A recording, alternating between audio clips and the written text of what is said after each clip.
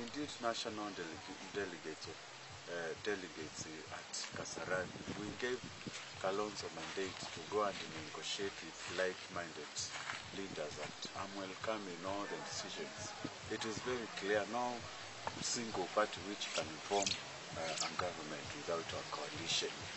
The, the, the importance of the bill we pass in the parliament is clear because nobody is going to form uh, government without a conglomeration of many leadership and that is why we gave Kalonzo mandate to go and negotiate and we are sure he is going to make proper deals and uh, as Oka coalition and Oka fraternity we are happy for his leadership. We are going to welcome anybody who is going to talk uh, who is going to address the issues of corruption, which is very key in our economy.